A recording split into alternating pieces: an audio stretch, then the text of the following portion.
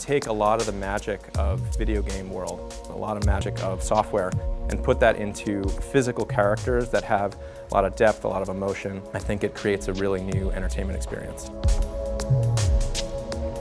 It's a racing game.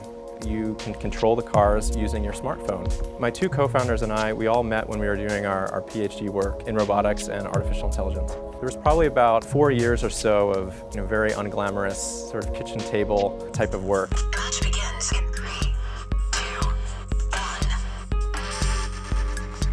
Ah. Each car is about 100 times more powerful than uh, the first IBM PC. They know where the borders of the track are. But a lot of the real smarts, the real brains are in the phone and in the app, right? And that's where all the very sophisticated AI is happening. So the cars are basically reporting their positions back and the phones will then coordinate the actions of the other cars and tell them where to go on the map hardware has gotten so much cheaper and the idea that you can take a microcontroller that is running at 50 megahertz and put it into each one of these vehicles and then also sell it at a, at a mass market price point. That's not something that was possible two or three years ago.